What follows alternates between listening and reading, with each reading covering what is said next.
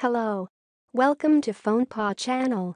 This video is about how to fix iTunes duplicates playlist when syncing. So we will show you ways to fix this. First, let's delete the duplicated playlists on iTunes. Launch iTunes and you can see there are some duplicated playlists on the list.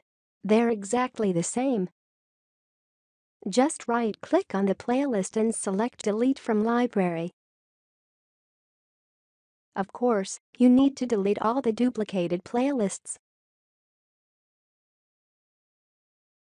After that, you can connect iPhone to the computer and ready to sync.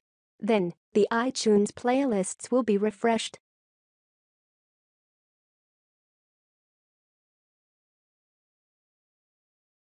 Many users report that there will be some duplicated playlists occur when syncing iPhone to iTunes.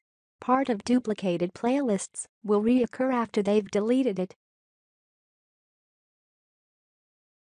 And the next is that using a third-party software like FonePaw iOS Transfer, which can manage data between iPhone and computer.